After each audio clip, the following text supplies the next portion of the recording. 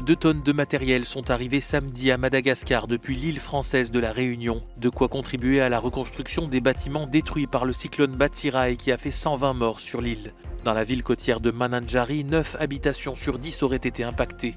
Au total, 125 000 personnes ont été sinistrées. Cette aide est expédiée dans le cadre d'un programme de la Croix-Rouge qui doit acheminer 87 tonnes de matériel.